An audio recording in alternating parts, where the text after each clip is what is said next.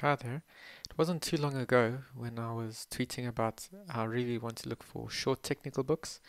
Uh, You don't really see many of these around. I've got a collection of so many free RStats books that uh, basically um, are quite long usually. Tutorials are sometimes too short as well. Um, but you know, any sort of technical book that can condense quite a wide topic in a very short space I find quite useful, yet there's very few of them around. Anyway, so it wasn't too long after this post that I saw this one from Lucy Stats, or it's actually Lucy Di Agostino, yeah, um, about covering ggplot2 in under two hours. And this was just, I was just like, wow, I really got to try this. So here's the link. Uh, it's called ggplot2 in 2, learn, learn the ggplot2r package in two hours. I suppose this might be sort of like an unboxing of sorts, um, except what I'll be doing is I'm going to pay for this. As uh, you can see, it is a paid product. I'm just going to pay the recommended or suggested price, and then I'm going to work through it and give you my thoughts afterwards. I won't be sharing the actual content of this book, but what I will be doing is recording my screen while I go through the code, and it'll be just kind of like a one of those fast play videos, just for a little bit of fun. Alright, so I'll see you on the other side.